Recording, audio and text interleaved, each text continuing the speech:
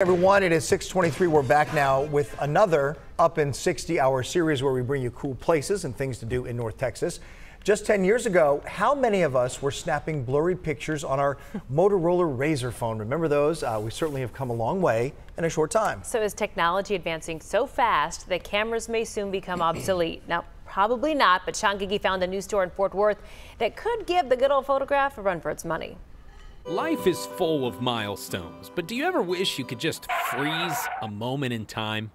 Well, thanks to a new business in Fort Worth, Turns out it's actually pretty easy. This is called Doob 3D imaging. that's one D, two O's, and a B. Doob.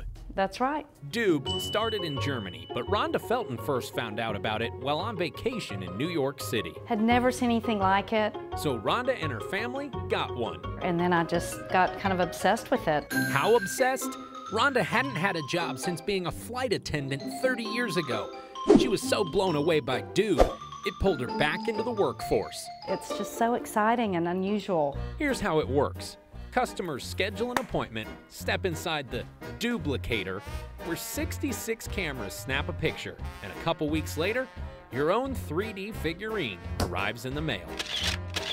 It's the new family portrait. And Rhonda says, if you're wondering what all this is about, just do it. rush. It's only if you forgot. It don't take a lot of. Pretty remarkable. Wow. The likeness. Yeah, I mean, it's spot on. Honey, I Shrunk the Gigi.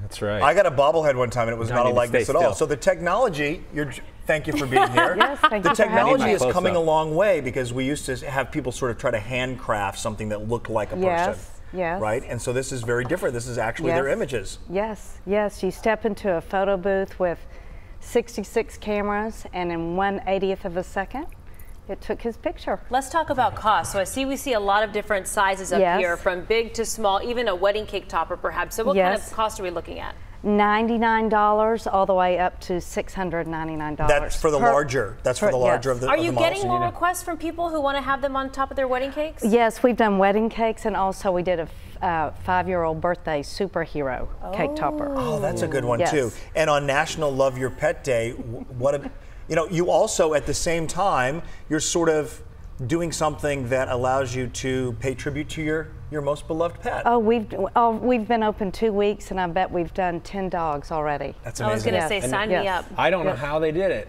but they made me even more handsome.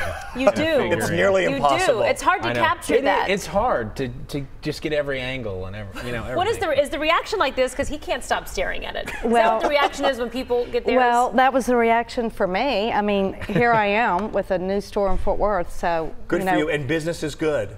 Business is good. I mean, right. we're brand new. Because I know being a business owner has its challenges, and you got to stay in it, and you got to be present, and all that. So congratulations. Thank you. All Thank right, you for thanks for having being me. looking You bet. good. Thank you. Of course, Looking of course. good. Thank you. Um, all right.